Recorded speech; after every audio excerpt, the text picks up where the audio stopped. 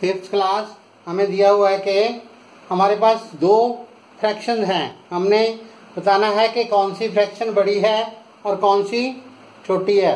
मैं आपको example one करा रहा हूँ पेज नंबर 95 ध्यान से सुनना। पेज नंबर 95 एग्ज़ाम्पल वन हमारे पास दो फ्रैक्शन हैं। एक है हमारे पास टू ओवर थ्री दूसरी है फोर ओवर नाइन हमने बताना है कि कौन सी फ्रैक्शन बड़ी है और कौन सी? कौन सी फ्रैक्शन हमने बताना बड़ी है, कौन सी? छोटी है। तो हम क्या करेंगे?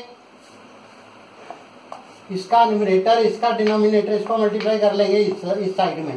Two into nine is equal two आ गया एटीन फोर इंटू थ्री इसको इसके साथ मल्टीप्लाई करके इधर आंसर लिखेंगे। इसको इसके साथ मल्टीप्लाई करके इधर आंसर लिखेंगे। Four into three is equal two हो गया ट्वेल्व अब एटीन जो है, वो बड़ा है और ट्वेल्व छोटा है।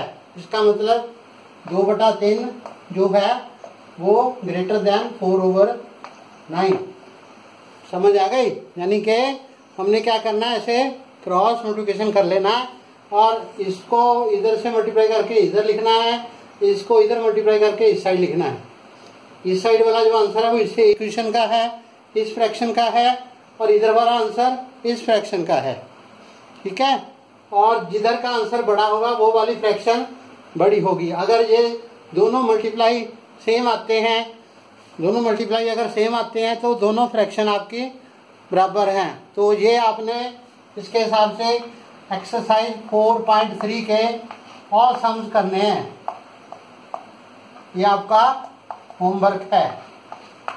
एक्सरसाइज 4.3 आपने सारी करनी है, थोड़े से सम है, उसमें दो दो फ्रैक्शन दी हुई है। उसको पढ़ना है देखना है, उसको क्रॉस मल्टीप्लिकेशन से सॉल्व करके जो बड़ा है, अगर